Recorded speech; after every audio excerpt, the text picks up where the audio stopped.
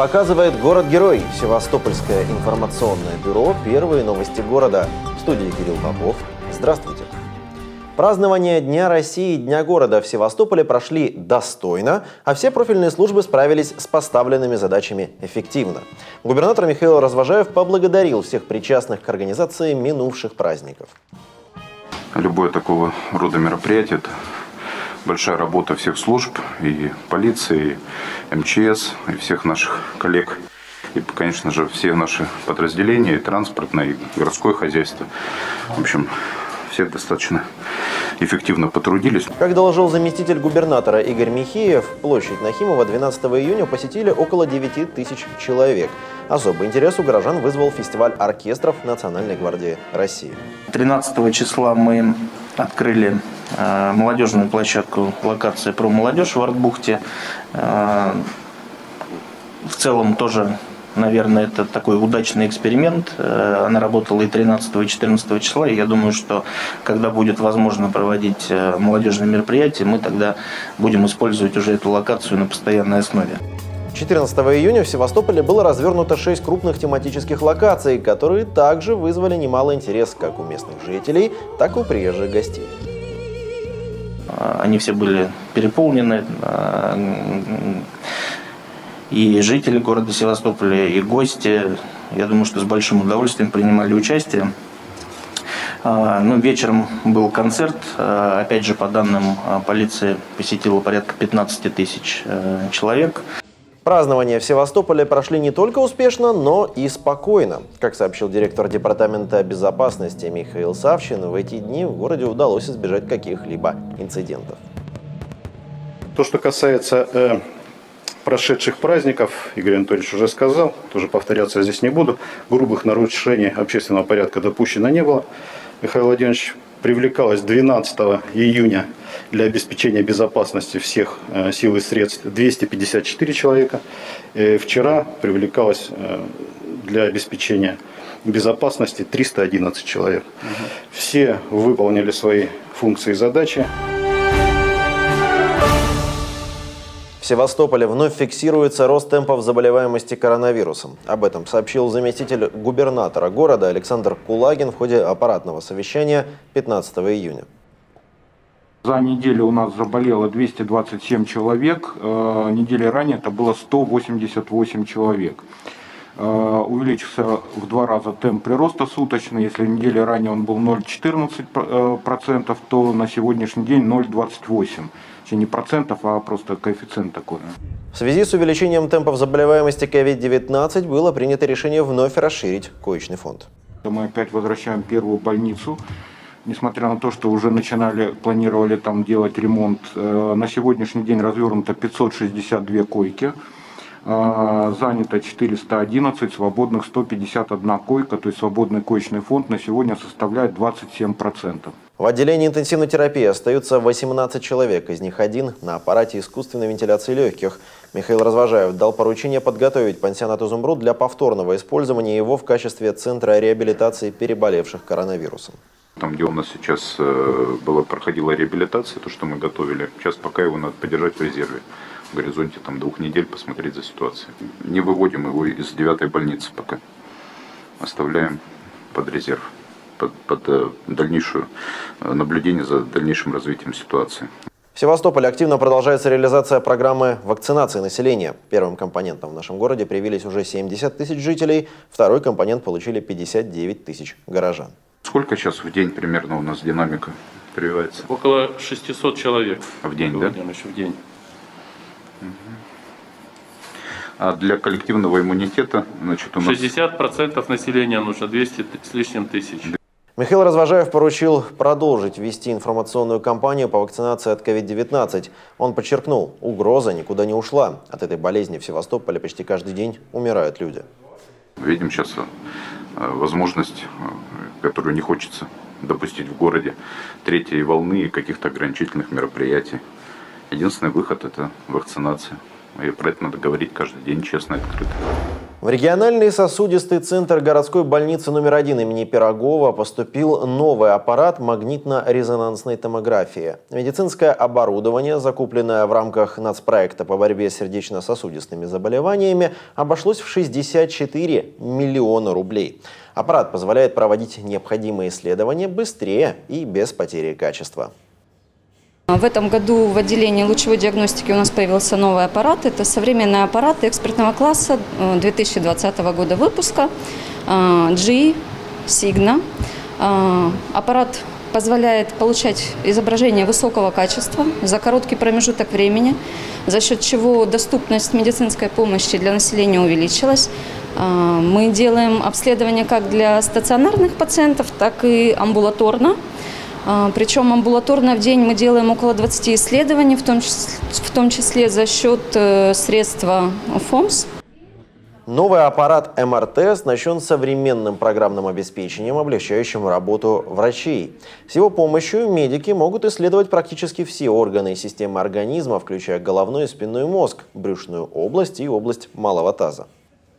Аппарат э, МРТ в Первой городской больнице был, но он был передвижной, находился на улице. Это доставляло определенные, э, определенное неудобство. Сам аппарат достаточно старый, он 13 -го года производства, и э, периодически выходил из э, строя.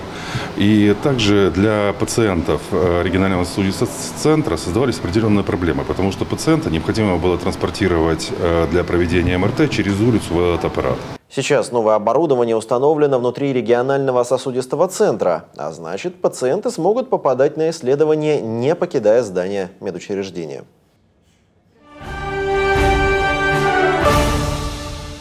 В ближайшее время в Севастополе появятся два новых филиала детского технопарка «Кванториум».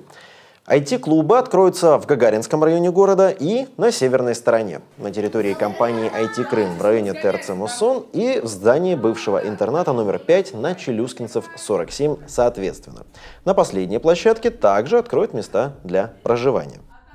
Там же мы как бы э, капитальный ремонт делаем общежития, это будет кампус. Вот, э, мы будем его очень стараться, конечно же, сделать в этом году, но Вероятно, он уже перейдет в следующий год, э, и это площадка именно для проведения больших мероприятий, э, как бы всероссийских. И здесь одна из главных целей э, – это притащить как раз на нашу территорию максимально федеральных и всероссийских мероприятий, для того, чтобы мы могли как можно больше наших детей погрузить в эту инновационную среду. На объектах полным ходом идет ремонт. Родители юных севастопольцев давно об этом просили. Отпускать малышей в возрасте от 6 до 10 лет на занятия далеко от дома решаются не все. Однако в филиалах собираются представить далеко не полный список направлений работы Севастопольского кванториума. В первую очередь это будут занятия IT-сферы. Программирование, мобильная разработка, робототехника, большие данные и так далее. И здесь наша задача все-таки айтишное сообщество пополнять. Город наш айтишный в том числе, поэтому, конечно же, нам нужны сотрудники IT-компании. Показывать тут же на примере, что можно не уезжать из региона, а идти в современнейший IT-технопарк IT Крыма. Вот, э, и, э, но дополнительно однозначно будут запущены направления нашей уже классические «Хочу шкодить», это подготовительные инженерные школы, однозначно для малышей, потому что им, родителям, тяжело их возить как бы в другой конец города. Вот, и другие востребованные направления будут э, также запущены на этих площадках. Есть в планах руководителей детского технопарка «Квантуриума» и цели развивать совсем новые направления. Об этом руководитель проекта «Международный центр научно-технического творчества имени Фомы Микензи Максим Виноградов и заместитель руководителя «Квантуриума» Анастасия Вакарчук рассказали в новом выпуске программы «Актуальное интервью». Также воспитанники «Квантуриума» поделились впечатлениями от недавней поездки в Екатеринбург, где им удалось познакомиться с инновационными детскими образовательными программами, которые реализуют коллеги. С этим и другими промышленными инновациями и регионами Кванториума уже запланировал совместную работу.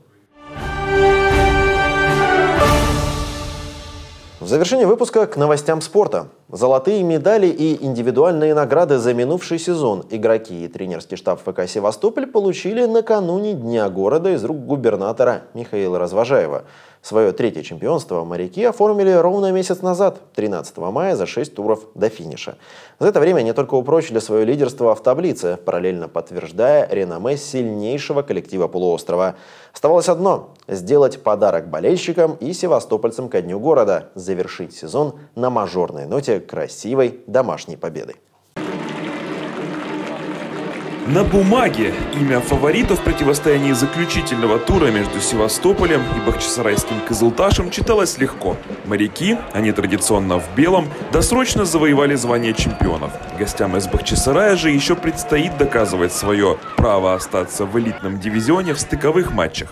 Лидер против аутсайдера. Такая вывеска не спугнула более тысячи болельщиков, заполнивших центральную трибуну главной городской арены. Еще бы, по завершении игры футболисты Севастополя должны были получить заслуженные золотые медали и на бис поднять над головой кубок. Неотъемлемым условием полноценного праздника должна была стать победная точка в чемпионском сезоне. Было тяжело в первом тайме. Э, было тяжело ребят настраивать, мотивировать, потому что задачу выполнили. Э, единственное, Э, была нехорошая традиция. Э, Севастополь не выигрывал последнюю игру в течение пяти лет. Поэтому хотели ее поломать. Спасибо ребятам. Они это сделали. Э, достаточно хорошая квалифицированная команда играла против нас. Создала много нам трудностей, но ребята выдержали. В итоге соперники выдали захватывающее футбольное зрелище с шестью забитыми мячами, двумя отмененными голами и массой опасных моментов у ворот друг друга. Счет открыл в середине первого тайма Артур Амединов. Забитый мяч стал для него 19-м в сезоне, что обеспечило ему звание лучшего бомбардира чемпионата. Но на перерыв команды ушли при равенстве на табло. Быстрая контратака Кызылташа привела к взятию ворот юного голкипера моряков. На старте второй половины встречи соперники вновь обменялись голами. Сначала Захар Тарасенко замкнул прострел с фланга. Форвард моряков, кстати, заслужил титул лучшего нападающего минувшего чемпионата. Но уже спустя две минуты бахчисарайцы вновь восстановили статус-кво. Несмотря на ожесточенное сопротивление гостей, севастопольцы доминировали на поле и все-таки сумели склонить чашу весов в свою сторону. Третий победный гол хозяева забили на 71-й минуте. И сделал это футболист, на счету которого ряд решающих мячей в этом сезоне. Воспитанник клуба в этот вечер впервые примерил на себя капитанскую повязку. Да, я не ожидал, что мне доверят капитанку сегодня. В перерыве дали ее и пришлось настраивать ребят, говорить какую-то речь. Очень приятно быть капитаном и тем более забивать решающие голы. Ну, мне отдали пас в борьбу, Потом я подобрал мяч и пробил в угол. Все. Вот так, воспользовавшись ошибкой бахчисарайцев, севастопольцы в третий раз в этом матче вышли вперед. И больше преимущества моряки уже не теряли. Мяч побывал в сетке гостей еще трижды, но засчитан был лишь один гол. В остальных случаях судьи фиксировали положение вне игры. Антон Галенков на 89-й минуте поставил жирную и яркую точку и в этом матче, и во всем сезоне. Даже став чемпионами за месяц до конца турнира, севастопольцы не бросили играть и подтверждали статус самой сильной и сбалансированной команды Крыма в каждой из остававшихся встреч. Сейчас в составе моряков в основном выступают местные воспитанники, точечно усиленные приглашенными футболистами, а в минувшем сезоне ярко показало себя и подрастающее поколение. Долго шел к этому, чтобы стать чемпионом. Задача была цель поставил себе, вот добился ее. Спасибо партнерам по команде, которые помогали. Ну, конечно, чувствовалось, когда я играл с такими футболистами, которые играли в высшей лиге, уровень футбола совсем другой. И с помощью них я набрался формы, уверенности. Вот. Ну, это очень приятно, что тренерский штаб мне доверяет. Буду работать еще больше, чтобы получать больше игрового времени. Вечером 13 июня на трибунах вместе с болельщиками команду поддерживал и губернатор города Михаил Развожаев. Он же вручал футболистам и тренерскому штабу золотые медали и индивидуальные награды накануне особенного дня. Лучшими в Крыму в своих амплуа стали также вратарь и капитан Севастополя Сергей Науменко и наставник моряков Олег Лещинский. Ну и вы знаете, что в этом году мы празднуем День города под девизом «Я люблю тебя, Севастополь». И мне кажется, к нашему клубу одноименному это относится слово в слово. Поэтому давайте еще раз признаемся в любви к нашему городу и к нашему замечательному клубу. Ребята большие молодцы. Мы любим тебя, Севастополь! Спасибо за красивую игру, за прекрасный сезон. Сезон действительно выдался успешным. Севастополь первым стал трехкратным победителем Крымской премьер-лиги. Наша команда – лидер по числу забитых мячей в этом сезоне, а пропустили моряки меньше всех в таблице. Отрыв от преследователей почти 20 очков. Но, как известно, удержаться на вершине гораздо труднее, чем на нее взобраться. Ближайший месяц футболисты проведут в отпуске, после чего отправятся на сборы и приступят к подготовке к новому сезону, в котором будет что доказывать. Начнется он с матча за Суперкубок, а дальше ломать старые традиции, ведь еще ни одна команда в Крыму не становилась чемпионом два года подряд.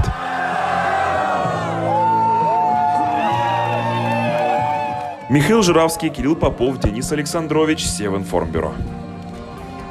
К этому часу все. За развитием событий следите вместе с выпусками Севинформбюро. Телефон редакции городской 590060, а также мобильный плюс 7 978 900 31 31. Уточнить информацию или оставить свою вы можете на нашем сайте dsdefistv.com. Ждите новостей, до встречи и следите за прогнозами погоды.